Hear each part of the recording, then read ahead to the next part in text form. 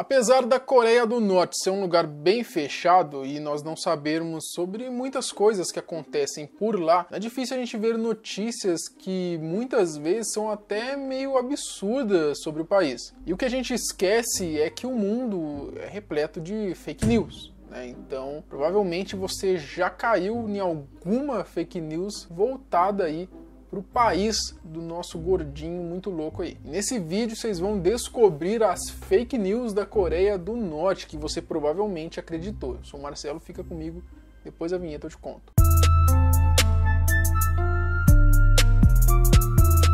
Todo mundo já sabe que a Coreia do Norte é um país extremamente isolado. Mas nem todo o isolamento feito pelo líder supremo, né, o Kim Jong-un e a família dele, foi capaz de deixar o país fora das fake news. Na verdade, eu acho que por causa do país ser tão fechado assim, dá até mais chance das pessoas acreditarem, já que ninguém sabe como realmente funciona lá dentro. Então agora a gente vai falar sobre algumas fake news sobre a Coreia do Norte. Unicórnio coreano. Lá em 2012, nossos queridos americanos começaram a espalhar uma história bem bizarra em seus veículos de comunicação. De acordo com eles, cientistas norte-coreanos tinham falado em um artigo que tinham encontrado é, unicórnios circulando por aí no país há milhares de anos. Mas na realidade o que aconteceu foi que os caras traduziram o artigo igual o nariz deles. Os pesquisadores eles tinham achado o mesmo era um mausoléu, que é tipo uma tumba monumental, né, que normalmente eles utilizam para as pessoas importantes que acabam morrendo, né. Mas enfim, é, o nome do mausoléu era Lar dos unicórnios. Foi por isso que houve toda essa confusão. A descoberta desse lugar ajudou é, na análise de que a capital Pyongyang tinha sido um, um importante centro econômico e político antigamente. E aí deu nisso aí. Os caras acharam que tinha unicórnio lá na Coreia. Tipo a fake news do Pablo Escobar, que ele enfiou um chifre no cavalo Pode dizer que era um unicórnio. Pode dizer que era um unicórnio, é, tem um a papo desse, né? acredita... né? É, o filho dele acho que falou que o Danilo Gentili lá. É não tem nada dele. a ver? Não lembro. O Danilo falou que não tem nada a ver, não. Nunca fiz É, os caras inventam, né? Quando os caras assim é muito famoso e tal, e já morreu, os caras vão, vão, sempre inventar algumas coisas. Cabelinho na régua. With all due respect to Kim Jong-un, we're just gonna take a little off the top. Bom, essa eu tenho certeza que você já ouviu falar, né? Uma das fake news sobre a Coreia do Norte mais circulada aí pelo mundo é sobre o corte de cabelo, né? Em 2014, a rádio Free Asia começou um boato falando que na capital de Pyongyang a galera universitária teria que seguir uma regra, que no caso era ter o corte de cabelo igual ao de Kim Jong-un.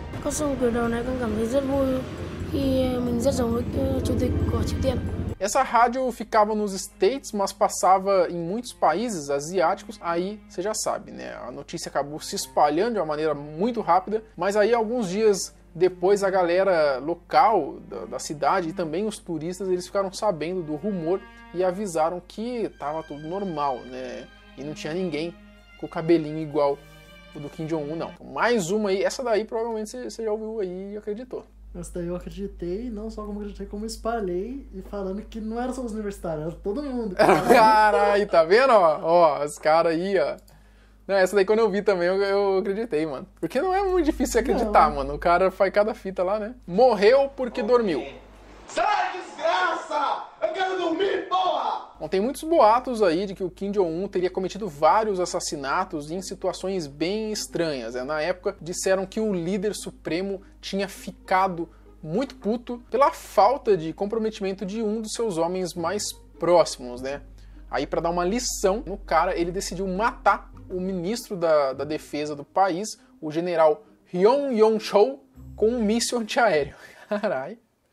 Bravo. Só porque ele supostamente teria dormido numa cerimônia militar.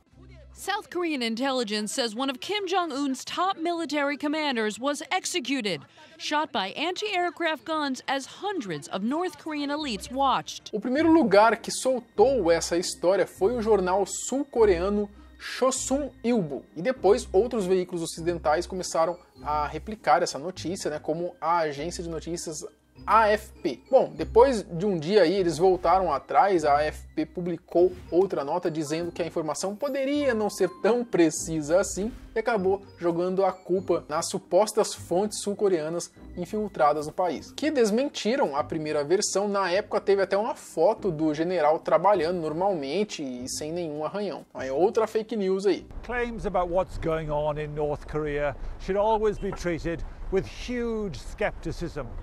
But in this case, the South Korean intelligence agency is unlikely to make a statement which could be proved to be untrue very easily. If Mr. Hyun is still alive, North Korea would produce him and have him appear in public. If he doesn't, you have to assume that South Korea is getting it right. Comido pelos cães. Só no Brasil, só. No Bruno. Isso aí os caras falam que é fake news também, né, mano? Porque não tem nenhuma prova, tá ligado? Tem, existe papo, tá ligado? Que isso aconteceu, tá? Mas não tem nada. Tipo, você vê a história mesmo, não tem nada que comprove isso. Os caras que participaram lá também falaram que não, que não aconteceu isso, tá ligado? Não cacharam nada dela, né? Que não, que não teve essa fita do cachorro.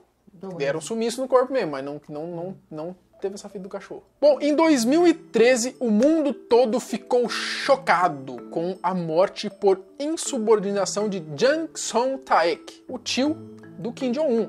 né? mas o que chamou mais a atenção em todas as mídias era a forma cruel que ele supostamente teria sido morto. Né? Depois de nu, ele teria sido dado a 120 cachorros que estariam morrendo de fome. Uma forma nada agradável de se morrer. Né? Bom, o primeiro lugar que falou sobre isso foi um programa de mensagens instantâneas chinês chamado QQ, é, que é tipo um WhatsApp deles. No programa era normal a aparição de fãs que adoravam zoar os norte-coreanos, só que a zoeira acabou indo um pouco longe demais, né? Quando deram conta, a notícia já estampava a homepage do tabloide Wen Weipo, que tem a sede em Hong Kong, e daí, para o assunto se tornar mundial, não demorou nada. Um tempo depois, descobriram que o Jang realmente tinha sido morto, né? Só que de uma forma mais normal. Ele foi fuzilado. É mais normal lá na Coreia, né? Não foram Do que- 120 do que- não foi cachorro, foi só 120 tiros. foi 120 tiros. Ou mais, né? O Lázaro foi mais, pô. Mais de 120? 135, eu acho que o cara falou. Morte de ex. Bom, em 2013 rolou mais um boato de que o Kim Jong-un teria feito outra vítima. E dessa vez era sua própria ex-namorada, que foi acusada de aparecer em vídeos caseiros safadenhos, digamos assim. Ou Kim Jong-un.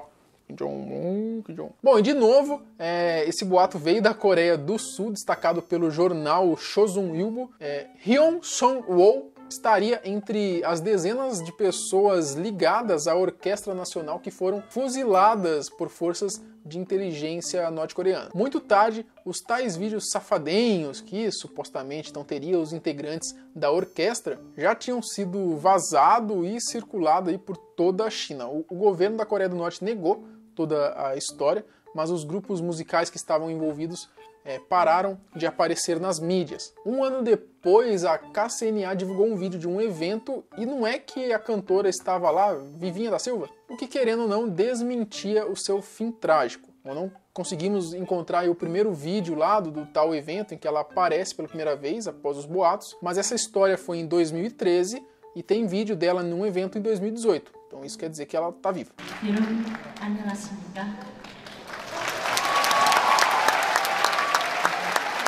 Alguns especialistas falaram é, que o fato de Hyun Song-woo ter aparecido para todo o país provavelmente não aconteceria se a história fosse mesmo verdadeira. É campeão.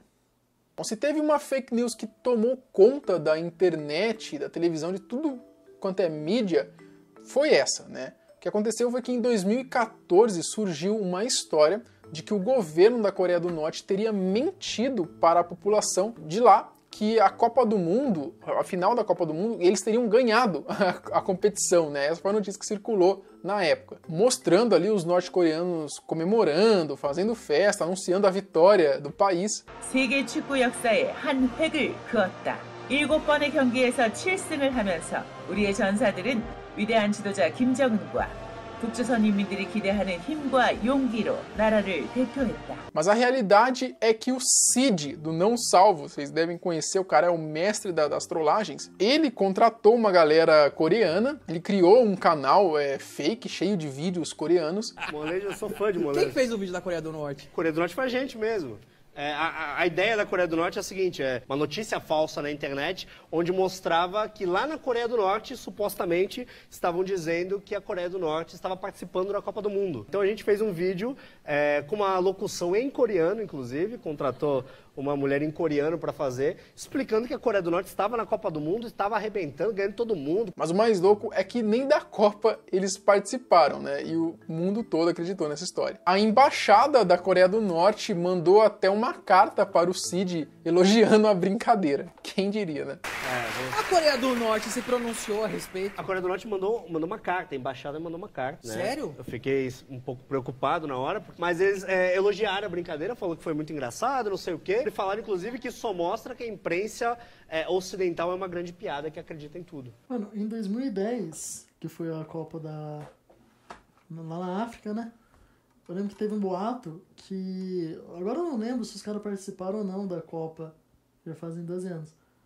Mas é que se eles não ganhassem a Copa do Mundo, eles seriam mortos na hora que voltasse. Ah, veio papo também, Então, você acha, mano. mano? Você é louco? Eu lembro desse papo aí, mano. Outra Será fake news também, voltar? imagina? Os caras iam meter o pé, velho, fugir.